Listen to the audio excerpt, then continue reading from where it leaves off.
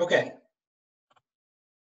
So today's talk will be given by Ricardo Fukasawa, who has been a professor in C&O since 2009 and has worked in the areas of combinatorial optimization, operations research, mixed integer programming, and polyhedral combinatorics. Today he will tell us about hardness of set partitioning formulation for the vehicle routing problem with stochastic demand. Ricardo.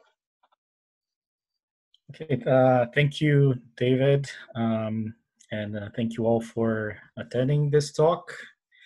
Um, so it's the first virtual talk that I give, so hopefully everything goes smoothly. Um, that's also maybe one nice advantage of being the first is whatever problems there is, is just the first one. So uh, we'll see how that goes. Um, so I try to to give uh, to to let uh, sorry the talk uh, not being too long, also to to maybe allow for uh, for some questions.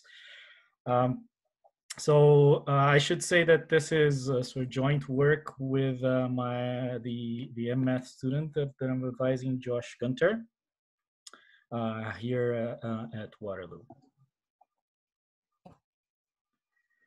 Uh, and again, feel free to interrupt me at any point. Uh, just uh, send again a message to David to if you have any questions. it would be good to to see if I mean I'll, I'll try to answer as best as I can. Um, so this is the outline of my talk. So uh, I'm going to start by introducing sort of a motivation for the problem um, and this particular type of formulations that I'm that I'm interested in in talking about, which is the set partitioning type formulations. Um, and then I'm going to talk about the uh, the problem, the vehicle routing problem with stochastic demands, so the VRP-SD. Um, I'll define briefly what the problem is, uh, and then I'll go over a few uh, cases of the problem, um, and particularly that that essentially amounts to to what what are the distributions of of the random variables uh, that are involved in this problem. Okay, and then and then I'll conclude at the end. Okay, so here is uh, the motivation. so the, the, the deterministic vehicle routing problem, it's, it's a classic combinatorial optimization problem. Um, and it's given as follows. Uh, I have this uh, undirected graph, uh, G equals to uh, VE. Uh, and my set of vertices, it has a special vertex called the depot. So that's the vertex zero here. that's the depot. Uh, the V plus is the set of clients that I have uh, in my problem. Uh, and the goal is to serve the clients, right? So what do I have? I have edge lengths, uh, LE for every edge. Um, I'm given fixed number uh, K of vehicles. Uh, they're homogeneous, so they're all the same vehicles, they're identical vehicles, and they have a given capacity Q. And the goal is to find a set, uh, a set of k routes uh, that minimizes the total length, right? Where the length is just, again, the sum of the lengths of the edges. And so for the deterministic version of the problem, what I have is I have client demands di uh, for every client, right? And so what do we want? I want that if, let's say, Sj is the set of clients that are served by a particular route J, then what do we want? We want that the sum of the demands of that route that, that are served by that route, right? So D of Sj, that has to be at most the capacity. Right, so for instance, this would be a solution to this problem. There are four different routes. Uh, each one serves uh, this this green one serves these these clients on the right. The red one serves these clients on top, and so on. Right? Uh, I need to serve, or sorry, I need to visit every client exactly once. Right? And I need to leave and enter the depot k times, right? Because I have k routes. Okay, so I mean, it, it looks a bit like like the TSP in, in the sense that I want to visit everybody once except the depot.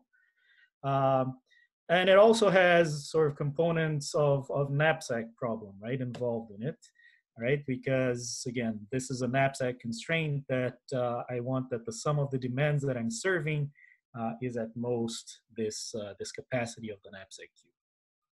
Okay, so that's a classic deterministic vehicle routing problem. It's been studied for over 50, 60 years.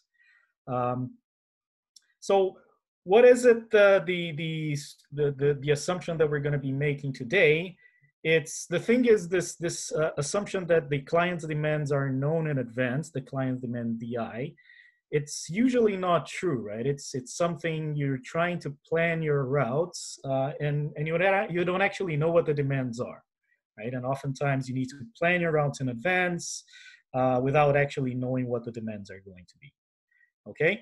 Oh so that's the the the the variation of the problem that we're going to be looking at is we're going to look at demands. Now the demands instead of being this small di which are given numbers they're going to be capital di which are random variables and these random variables they only get realized after the routes have been decided right so the first thing that i need to do is decide which routes i'm going to take based on uh, whatever knowledge I have from these random variables. Afterwards, then uh, I, after I decide the routes, then I know exactly what the realizations of these demands are. Okay, so that's the basic uh, premise of the vehicle routing problem with stochastic demands. So the question is, what happens, right? These, since these are not uh, given fixed numbers anymore, uh, there is a possibility that this this capacity is exceeded, right? So I, I maybe I planned uh, looking at let's say expected values here, uh, but it turns out that I was unlucky. The random variables got realized in such a way that I exceed my capacity. So what do I need to do when the sum of the loads that I serve exceeds my capacity? So there are two uh, more studied approaches to, to, to, to what to do in these cases. One is the two-stage uh, approach, and the second is the chance constraint approach. Um, so the two-stage approach is as follows. It's based on, on sort of a recourse action. So what is it that we're doing? So I decided in the first stage, so I decided in advance which are the routes that I'm going to take. So these are the sort of the, the, the dashed line here. That's, I planned the route, so that, uh, and I'm doing it so that the total expected demand does not exceed the capacity, right? So that's, uh, that's what I did here. And now what I'm going to do after I see what the exact realization is of the demands, I follow the planned route. So I'm going along, let's say this red route here. Um, and then all of a sudden I stop here and then I see, well, the capacity is actually exceeded at this customer. And so now what I'm going to do is I'm going to determine uh, an alternative service plan, right? So what is it that usually is uh, I'm going to do? I'm going to sort of go back and forth in this vertex, right? So I'm going to make this return trip so I can, let's say, refill or empty my truck and go back here and then continue my trip, right? And then I can do the same thing for every route. So I start following the sort of the blue route here, uh, and then I stop here, and then uh, I'll go back and forth, uh, and then I'll continue. Okay, um, so that's sort of the more common assumption of the of this recourse, and then every single one of these these return trips gives me an extra cost, right? So I'm I had planned this route here, now I'm going back and forth. Uh, I'm paying this extra cost, right? So that happens for some particular realization of the demands. Uh, so what do I want to do? I want to minimize the expected cost, right? So each one of these gives me some cost uh, with some associated probability. And that means uh, total gives me an expected cost. So the recourse based model plans to minimize the expected cost. Um, there are other options of recourse action, actions that people have studied, but they are more expensive computationally. Like, uh, well, once you've seen what the actual demands are, maybe you, you want to do it optimally. Uh, maybe you want to refuel early on or, or, and so on. Uh, but those are more expensive computationally, so I'm not going to go over that. I'm going to assume that I'm minimizing uh, the expected cost. Okay, um, the second approach to, to dealing with the stochastic demands is what's called a chance constraint. It essentially, uh, what uh, they want to do is, well, I'm going to limit the likelihood that the capacity uh, is uh, exceeded Uh, so I'm say I'm going to say that the probability doesn't exceed this threshold epsilon that's given as an input parameter. Um, and if it happens that, that it does exceed, I'm just going to ignore, I'm not going to count it. So I'm just going to minimize uh, the, the deterministic cost uh, and trying to prevent it, prevent this, this uh, failure to happening uh, with, uh, with a high probability. Okay, so those are the two sort of different paradigms that people have studied uh, with respect to the VRP with stochastic demands. Right, so this is formally what is, uh, what is defined as a chance constraint. Okay, so that th those two approaches to me are a little bit uh, sort of complementary, right? So if you look at the chance constraint, uh, the advantage of the chance constraint is that it gives you a more robust approach, right? Because uh, you're controlling the probability that something bad happens to you. Uh, but uh, the con of it is that, well, it, it once those bad things happen, it can be catastrophic, right? It can be very costly. Uh, the chance constraint completely ignores that. The two-stage approach, it's the complement of that. Essentially, it just considers the expected cost, uh, but ignores the robustness. So if maybe it's a better expected cost to actually be violating your your uh, capacity, I don't know, 50% of the time, right? Which is not something that's uh, too desirable. Um, so overall, uh, what I really want to ultimately end up doing is uh, combining the two approaches, and I think that is doable for at least this type of problem. Uh, it's not something that you've seen often in the literature uh, overall for a, even for like specific combinatorial optimizations. So that's uh, that's sort of the theme that, that I want to actually eventually get to. Um, I've already worked on the chance constrained version of the same problem um, in a previous work. Um, and so the goal of this particular work is to actually just study the two-stage uh, VRP with stochastic demands. Okay, so from now on, when I'm referring to the VRP with stochastic demands, I mean the, the two-stage version, right, where I'm just minimizing the expected cost.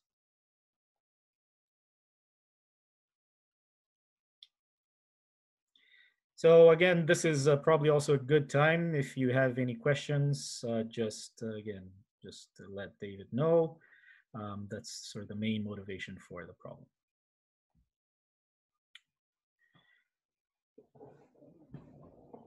Okay, so otherwise, uh, let me continue.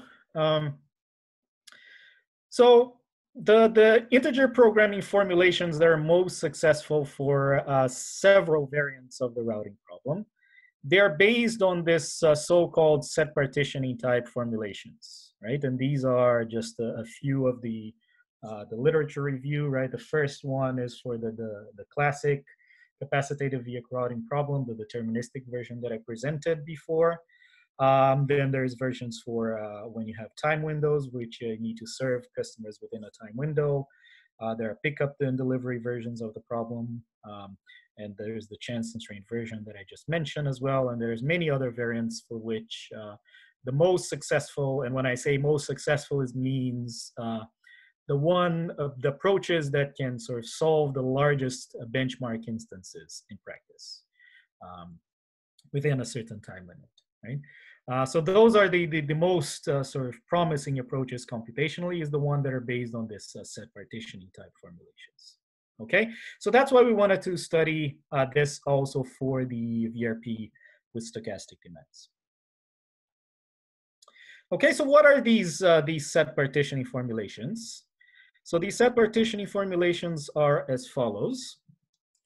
Um, so let me call omega the set of all feasible routes, right? So the, the things that sort of leave the depot, visit a certain subset of clients, and come back to the depot.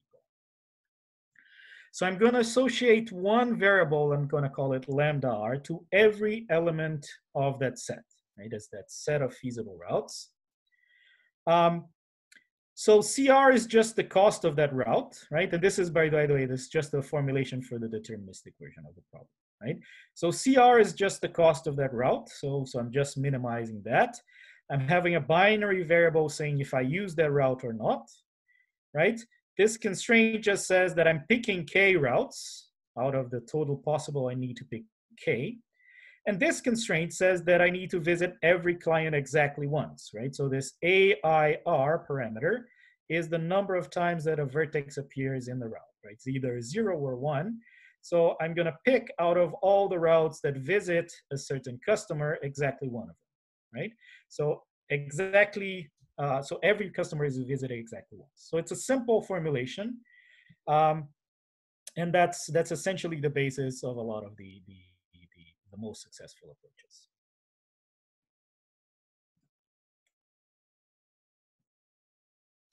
So uh, I think as I mean, people have looked at this. Uh, I think in in approximation algorithms, they use uh, some formulations of this type. Not necessarily. I don't know for for this particular problem, but it's I mean this idea of of having a huge number of variables is usually called I think the configuration LP. Uh, this is, I mean, it can be seen as a Dantzig-Wolfe formulation as well in some contexts. So, I mean, the, the, there's several different names that, that you can uh, you can find this type of formulation route, right? But as I mentioned, this omega is the set of feasible routes is a huge number of variables there, right? So it's an exponential number of variables in the size of the input.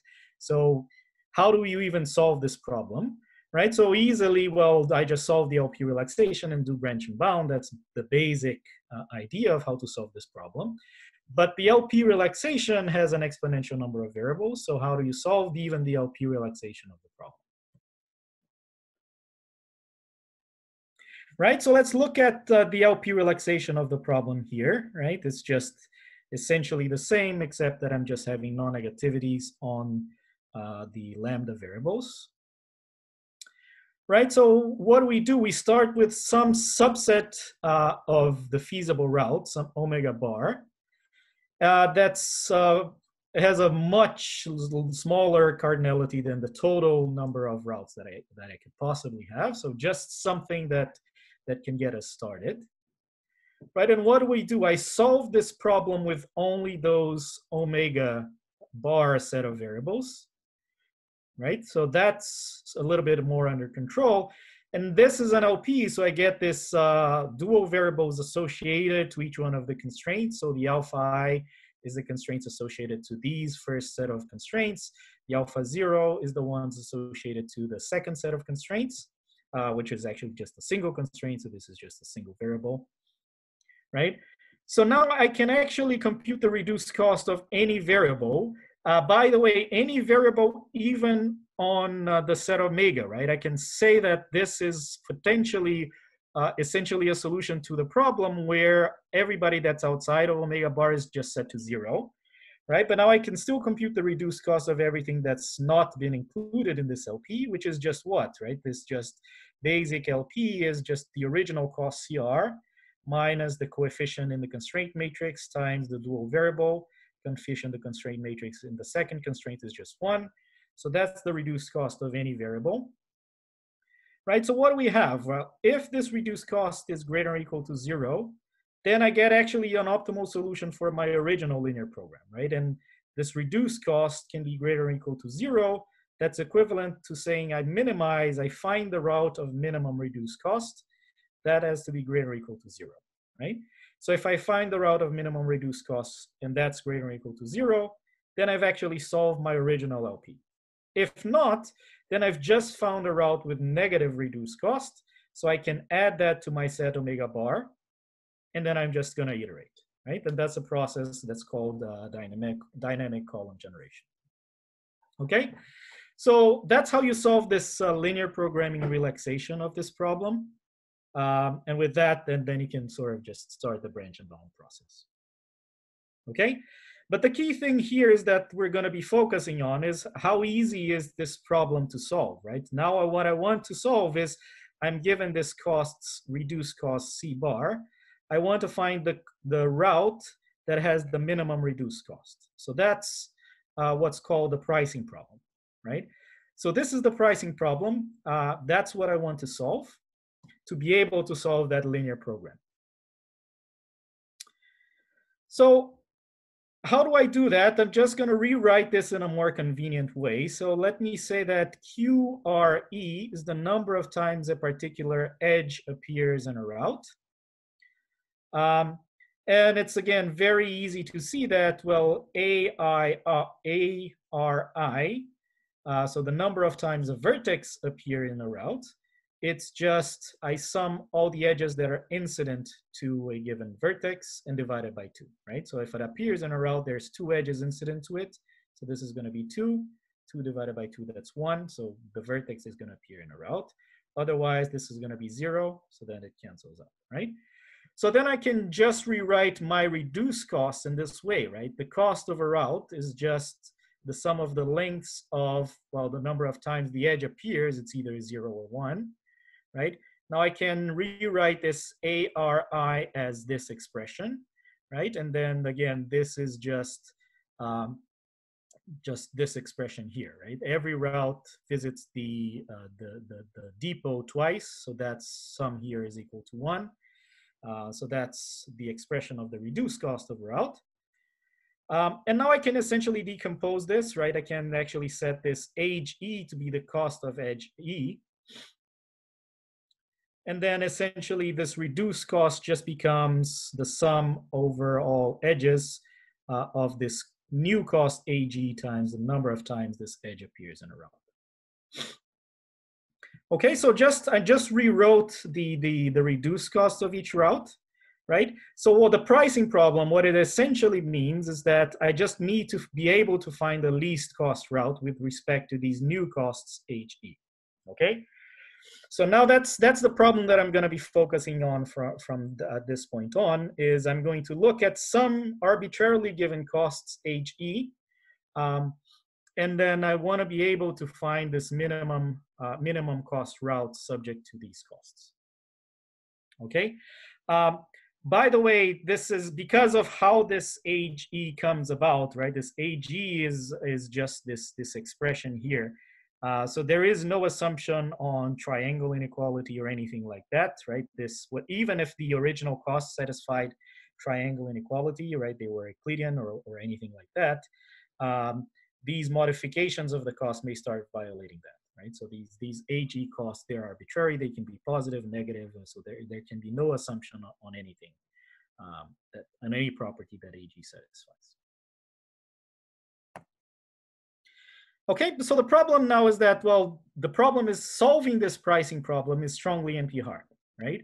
So which means that even solving the LP relaxation that I wanted is uh, strongly NP hard, uh, which means that I've just exchanged the problem of solving a strongly NP hard problem, which was the original one, uh, with just actually solving just the LP relaxation is it's as hard as solving the original problem from scratch, right? So there's, uh, it didn't help much. Um, so how do we do it in the deterministic pricing setting? So all we do is this following. Um, instead of considering a route, which is just essentially a closed walk starting and ending at the depot, uh, such that the total capacity is respected, and the customers are visited at most one, right? So in other words, I never repeat a vertex in this sequence uh, of vertices in a route. I'm just going to eliminate that, right? I'm going to eliminate the assumption that customers are visited at most once, right? So essentially, I'm allowing cycles to happen, right? So instead of a route, I'm going to call this a walk, or, or I'm actually going to call this a Q route, uh, which is essentially allowing cycles to happen, right? So this is, for example, it's going to be a Q route.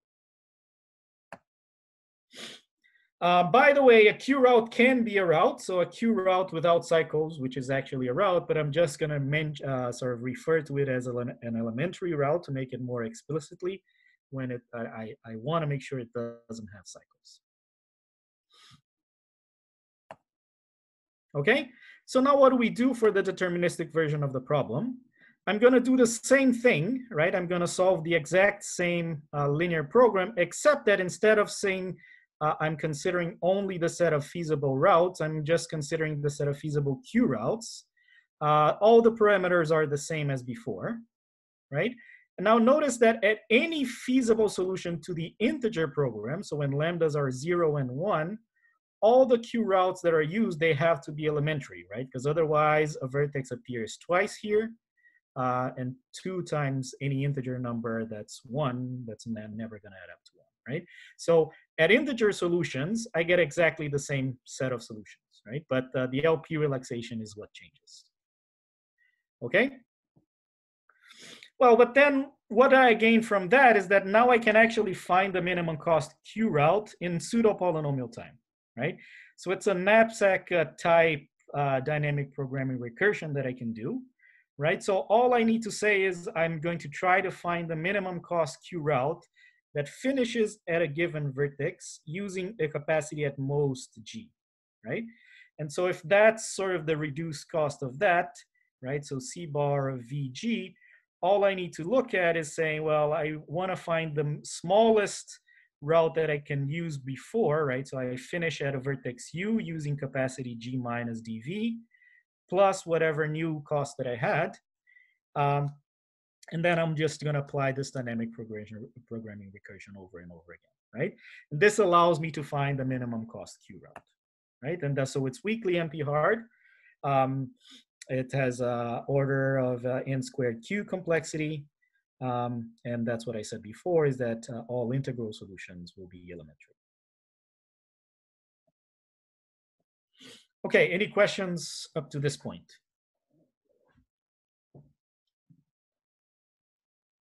Okay. So let's look now at the, the VRP with stochastic demands, particularly the, the two-stage version, right, that I'm interested in looking. Um, so by the way, this is just a, a, a, sort of a brief literature review of things that have been done for this problem for the two-stage version. There's been several heuristics. There have been some uh, uh, problem formulations based on, on just uh, the regular edge formulation for this problem uh, and some uh, formulations based on exponential number of variables, just like I mentioned. Um, that's for the two stage, and then again, some similar type of, of literature that has happened for the chance constrained version.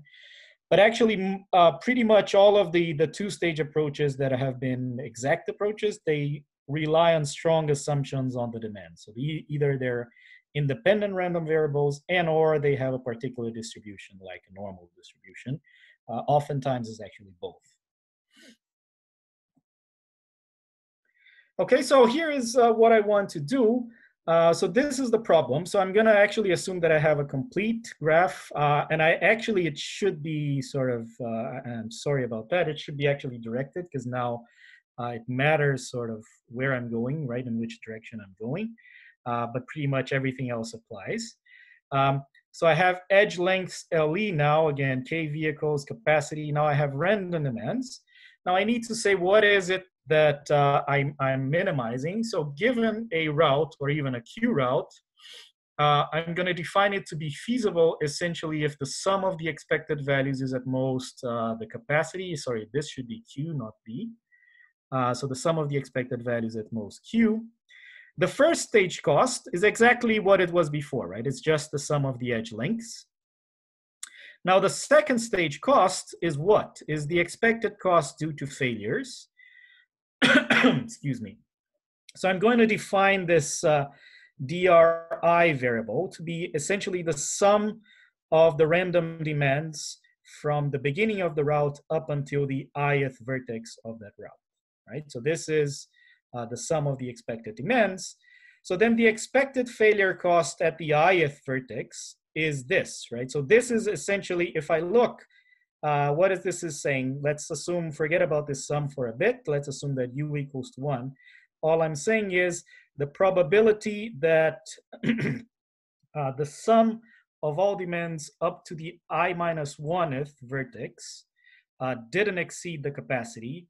Um, and it exceeds now at vertex i, right? So it didn't exceed the capacity before, but it does exceed it now, right? So if that event happens, then I have to do a back and forth trip to, to the depot, right? So that's exactly what this is counting. I'm counting twice times this back and forth trip times this probability that the first failure happened, right? If we consider u equals one, uh, but then I can see and, and see if it happens the second time and the third time and so on, right? So I can do this uh, however many times is needed, this back and forth trip. Uh, so that's what I'm defining as my expected failure cost. Okay, so the second stage cost, this the total expected cost of my route is just the sum of all these expected failure costs. Okay, um, and so the key problem is that, well, what is the, the total two-stage cost of my route is just the sum of the first stage cost and the second stage cost. So the key problem for set partitioning is exactly that, is the finding this Q route of least total first and second stage cost, right? So again, if I can do that, then I can apply pretty much the same ideas that I did for the deterministic version of the problem uh, to the two-stage problem uh, that I've just described, okay? Uh, and so that's what I'm going to be looking at is, well, how hard is it to solve this problem? So um, one thing that's uh, not clear is it's not even very easy to know even the distribution of some of random variables. Even if I know that uh, that these uh, demands have some known distribution, uh, it's uh, sum of two known distributions is not necessarily easy to compute. Um, so even calculating the second stage cost may be hard. Um, that's why a lot of people do this assumption that, that the demands are independent normal because if it's independent normal, the sum of independent normals is again just a normal distribution. Um, I found that a little too restrictive because it's not often the case where first of all independence uh, is is uh, is a, to me independence is the, the big problem here um, what I'd like to answer also is that uh, uh, I want to answer the case also when the demands are given as just a finite set of scenarios, right? So scenario one just gives me the total demands for every single customer. Scenario two, again, just gives me a set, a set of uh, demands for the all customers again, right? So each one is a particular scenario. Each one happens with a given probability. Uh, and then I can just calculate the total demand, right? So it's a finite discrete distribution essentially. Uh, by the way, the second uh, approach of scenarios, it can be used to approximate a given true distribution. There are sort of some sampling results uh, that with enough samples, uh, you can approximate this. Uh, so this with enough samples, uh, maybe a quite large number of scenarios, but but it's it, it's it's something that people have used before. It's called like sample average approximation and so on. So that's going to be the two cases that I'm going to be focusing on, right? These the this independent or normal assumption and the scenario assumption. And so these are the main results that we have uh, that we have uh, shown is that uh, with these two assumptions on the demand distributions, uh, what was a weakly NP-hard problem, so there was a pseudo polynomial time algorithm to solve, is uh, not quite right anymore, right? Uh, so these, uh, the, just the computation of the two-stage costs make the problem uh, transition to being a much harder problem to solve. Uh, that's not too surprising if you're familiar with a lot of things uh, on stochastic programming. That's oftentimes what happens when you just consider uncertainty. Things start becoming a lot more complex, right? Um, but again, this is just um, the, the, the, thing we wanted to, to try to see how do you solve this. Okay. Um, so I'm going to start with just the finite discrete distribution case. That's a little bit easier to do. Um, so all we're going to show, we're going to show that in this case, we can, if we can solve this minimum cost uh, Q route problem, then we can solve Hamiltonian cycle, right? So let me consider um, this given graph and I want to figure out if it has a Hamiltonian cycle. So I'm going to construct this instance of my minimum two-stage cost Q route. So this is what I'm going to do. I'm going to define this uh, these uh, fixed given edge lengths as following. Uh, the initial edge lengths uh, from uh, vertices that are adjacent to the depot, it's just going to be n cubed. Uh, all other edges that exist in this graph are just going to get a cost of minus one. And then this is how I'm going to set these distributions. I'm going to set one scenario for every possible uh, client that I have. So the probabilities is just one over n. And this is going to be the demand distribution for this given scenario. Um, the given scenario distribution for um, so the demand for vertex j is going to be n for scenario J and one for every other scenario, right? So if you sum all the demands in a given scenario, you get uh, essentially 2n minus 1, right? Which is exactly my capacity. So if I look at a scenario and I look at a route, the sum of the demands is 2n minus 1. Right, so it's not too hard to argue that if you have some elementary routes, then the second stage cost is zero, right? So elementary routes essentially start at a depot, visit some vertex, and then after a while goes back to the depot without having any cycles. Um, I want to argue that doesn't violate any scenario, and that's easy because any elementary route is going to at most visit every single vertex, and that's never going to violate the capacity, right? The total capacity that I can use, even if I use all vertices, is at most 2n minus 1, right? So the second stage cost is zero for elementary routes, whereas if you have a non-elementary route, so if you have cycles, it means you're visiting one of these vertices twice, right? and that's already adds up to 2n. So that means that that particular vertex already, since you visited it twice, you're exceeding the capacity. So you need to make this back and forth trip to the depot. So you're incurring this cost of n cubed. Um, and you're incurring this cost of n cubed with this uh, probability 1 over n. So that incurs a total second stage cost of n squared, right? So non-elementary routes have high cost, elementary routes have zero second stage cost, right? So what you can get is that at the end of the day, you're gonna get an elementary route uh, when you minimize, uh, when you find a minimum cost Q route, right?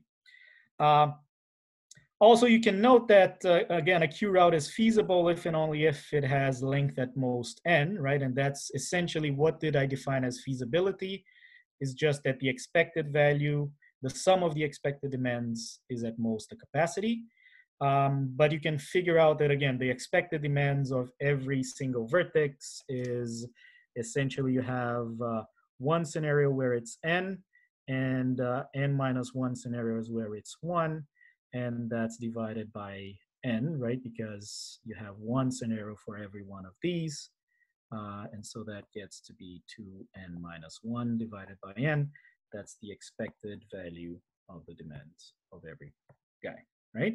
And so it has less uh, length at most n because it cannot be more than 2n minus 1, right? So that's again just uh, pretty much an observation, right? It's just a one-line proof. It should maybe not even be called a lemma.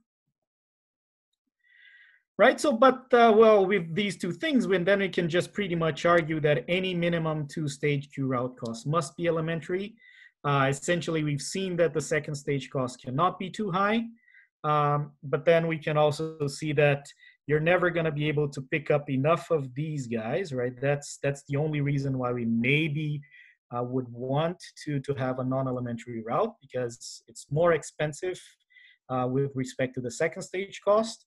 But maybe we might pick up some some a lot of these edges here to make up for that. But since we cannot uh, pick up too many of these because we can visit at most n guys, we'll never be able to make up for that. So at the end of the day, uh, you have to get an elementary route.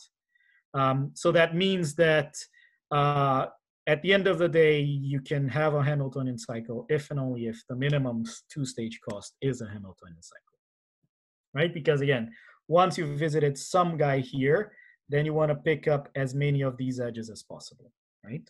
Um, once you've left the depot, you want to pick up as many of these guys as possible. And so if, if you can do it picking up all the edges, then, then you get a Hamiltonian cycle, right? So that shows, again, strong NP hardness of the problem. okay, um, any questions? So that, that's uh, pretty much uh, the, the, the, the proof for the, the scenario case.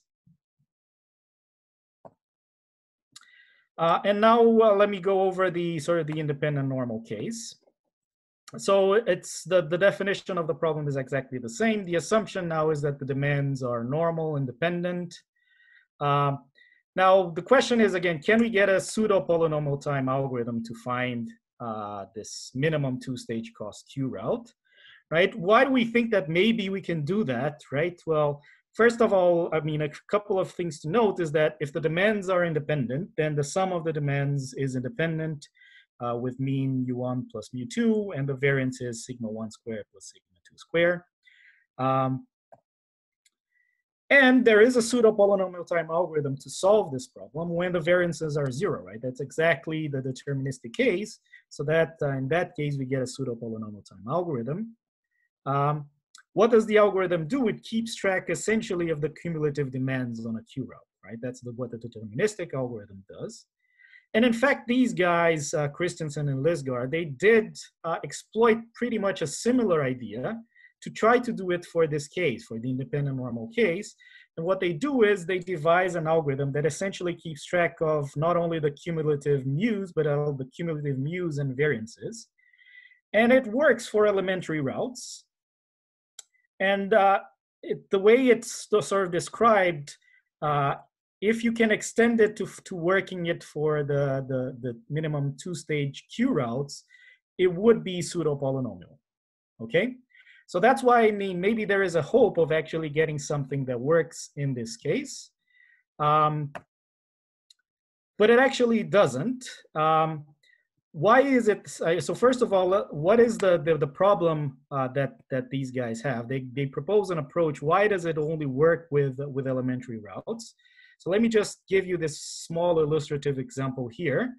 Um, suppose that you have uh, these guys, uh, you have only four clients, their demands are all normally distributed independent, right? Uh, with this normal with a mean 100, variance is 200. This is the capacity, all the edge costs are one.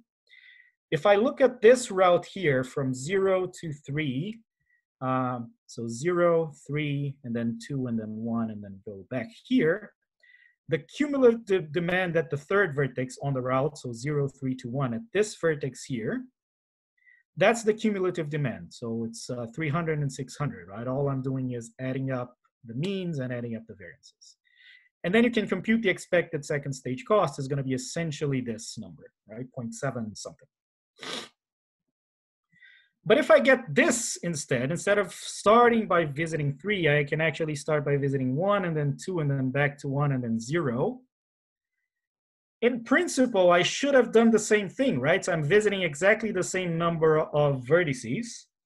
Um, so I should be just adding means and variances, right? So I should have, again, distributed as n 300, 600, but it's actually not. It's actually a 1,000 because this this fact that it's independent it's a little bit fake right it's independent if i look at client one and client two but i visited client one once right so I'm, if i visited client once twice in this route that's actually not independent of the first visit of client one right that has it's actually it's 100% correlated with the first visit um, so the demand distribution of client one so the second guy in the route is 100% correlated with the third guy in the route, right? And that's the one that's going to increase our variance, and therefore I get a, an incorrect expected uh, second stage cost.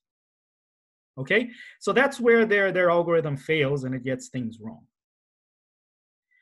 Um, so that's what we wanted to show is that well we started trying to see well how can we get rid of that? And we started figuring out well well maybe it, it, we cannot do it. Well maybe it's strongly NP hard. Um, that's what we wanted to do. Uh, let me rephrase that in, the, in terms of the proof. Uh, what did we try to do?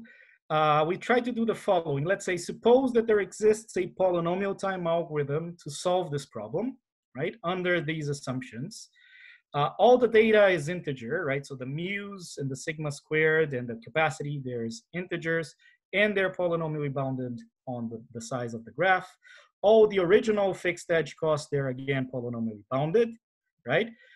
Then I would get a polynomial time algorithm to solve Hamiltonian cycle, right? So if I can prove this, then I prove essentially strong NP hardness, right? That, that's, that's one way to do it. Okay, um, there are a couple of issues here, right? Uh, it's not even clear how to compute the second stage cost though, because uh, again, the normal variables, they are uh, continuous distributions and so on. So uh, the probabilities can actually be some real numbers. It's not entirely clear how easy or hard it is to do that. So we needed to, to put this extra assumption that all basic operations on any real numbers can be done essentially in constant time.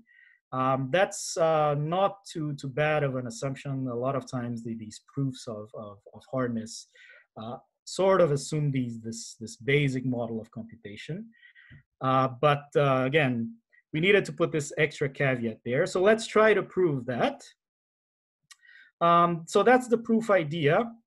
Um, all I'm going to do is, again, I'm going to compute this R fail, which is going to be the expected number of failures of a, of a normal random variable with mean mu and variance sigma squared, right? It's essentially the expression that I wrote before. Uh, we need to argue that this is actually some number that uh, that's that's given. So if this is a, a, given number, this sum doesn't diverge. Uh, that's relatively easy to do.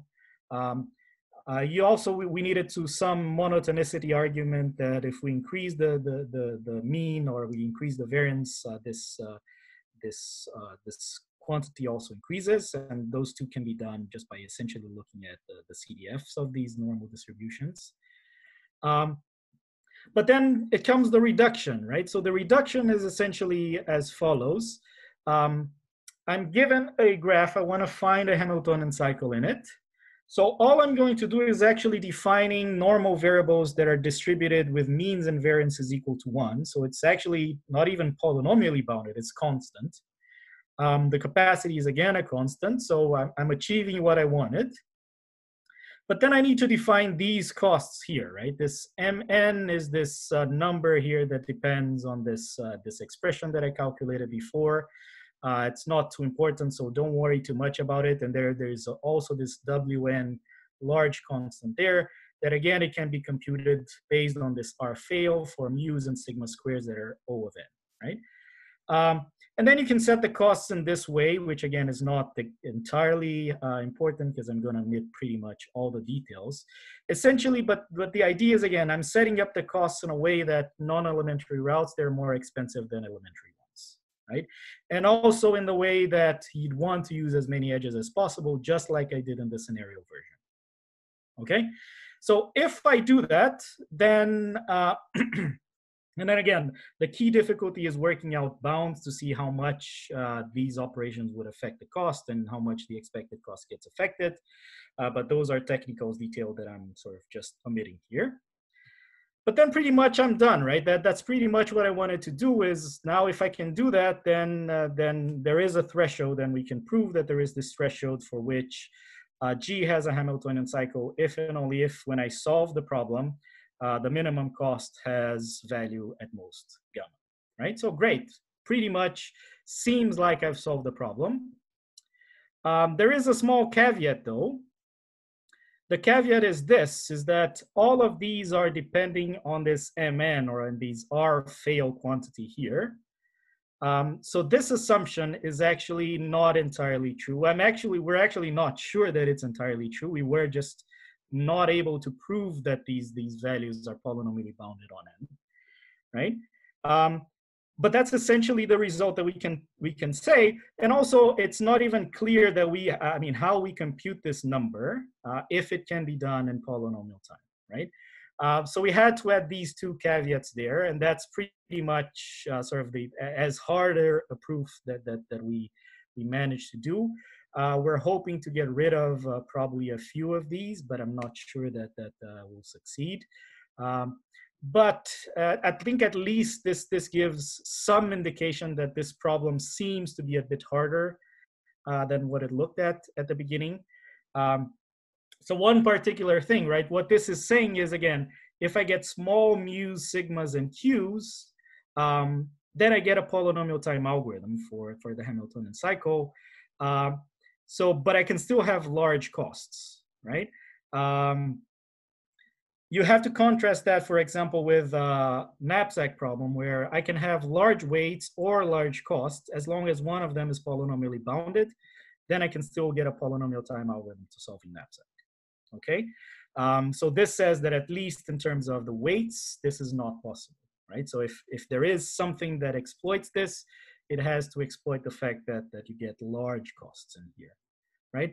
And also it seems to imply that, that again, the the extension that that seemed to be possible from the the the the the, the algorithm that these guys proposed back back in 2007 is also not possible because their extension would essentially uh, be polynomial time if these guys are polynomially bounded, right? So it would contradict this result, right? So while it's not really what we set out to do, to say actually, I mean, strong NP hardness, uh, it does give at least some hardness indications, right, of, of, of how this how hard this problem is.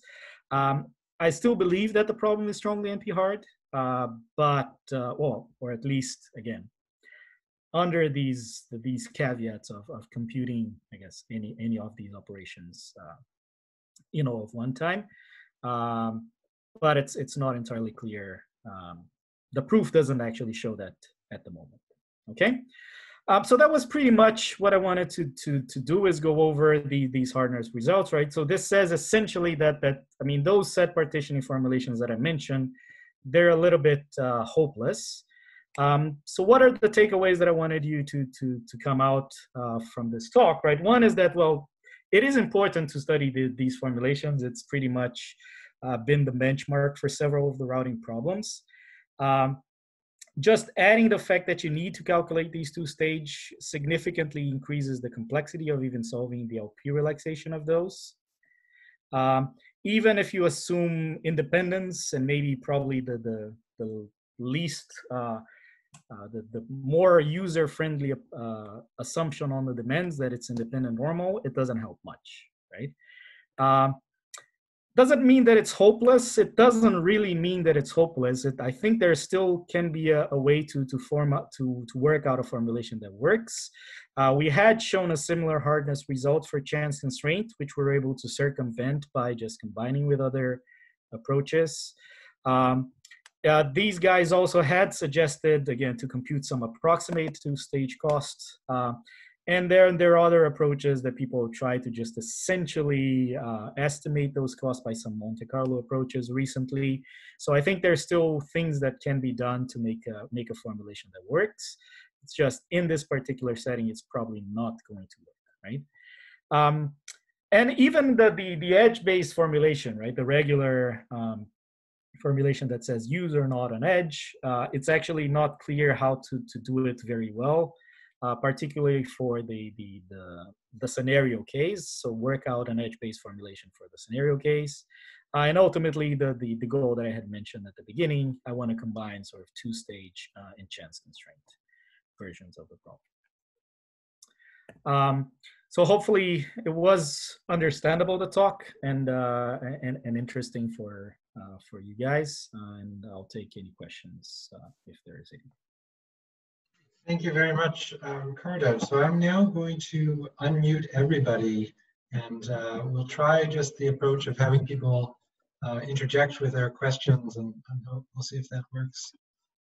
Um, so now everyone is unmuted, so if anyone has a question, they can uh, ask it directly. I guess I'll ask a question just to test things. Uh, Um, so on your last slide, you mentioned this thing about uh, approximate two-stage cost. Yeah. So one of the things, maybe this is more of a comment and uh, partly qu- question, partly comment. So one of the things that's done in the deterministic setting um, um, from for approximating things, this, for instance, this problem is that uh, it's actually not so hard to to bound the number of times you have to sort of go back to the root uh, because you can do you can estimate it by something like the total demand of the route divided by q uh, and that's reasonably accurate estimate uh, if you do things like i mean take a random starting point i mean go from the root to a random point and then start following the route from there. Yeah. So i'm uh, i'm wondering if you have uh, i think the same thing should apply um, uh, in the stochastic case. Of course it would it would be an approximation of how many times you're going back and force to the root. Uh, but it would be a reasonably good approximation. Have you thought about that? So, I mean, one of the problems is is that I mean, if you're thinking about the problem, the original problem, then then yeah, that that may be doable. If you're thinking about how to solve the particular set partitioning formulation, uh, then approximation may not be too good of a thing because you need to actually have the exact uh, reduced costs to be able to get a, a valid bound. Um, So I mean, it, it depends on how you define the, the problem, I guess, originally, right? Maybe, uh, I guess maybe that's that's the issue, right? You can define the problem as using the approximate cost to begin with, and then you can maybe that that's something to do, right? So you, again, you define the problem a bit differently.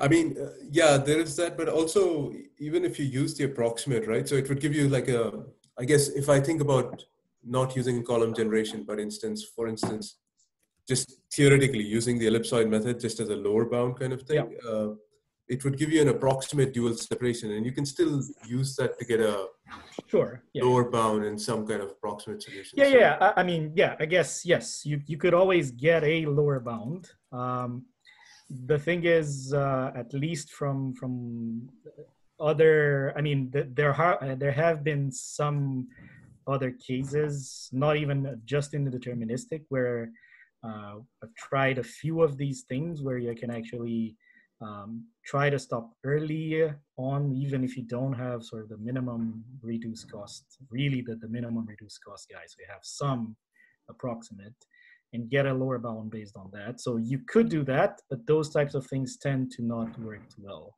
in practice. I guess that's the, the thing. Okay. Okay, are there other questions for, uh, for Ricardo? Again, we can, uh, you can unmute your own microphone and just interject with the question if you have one.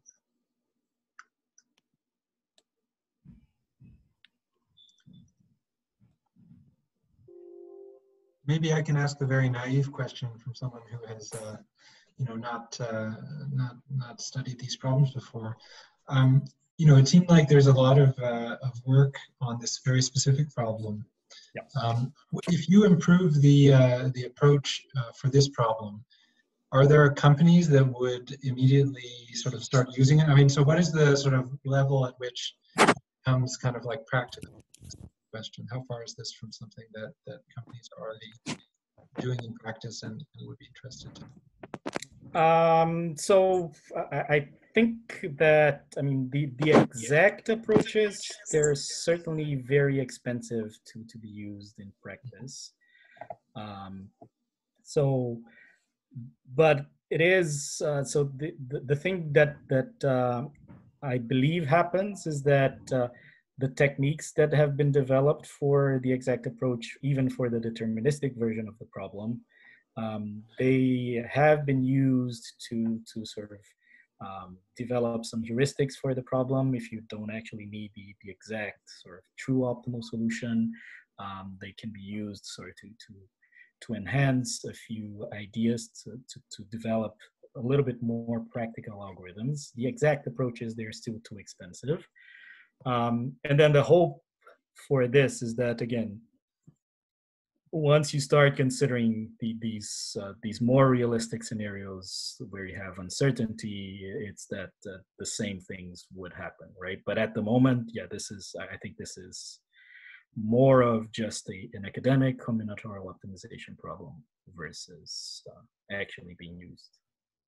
Okay, um, thanks. So again, uh, if there's any more questions, now is the last chance. And if not, then let's all thank uh, Ricardo for a nice talk.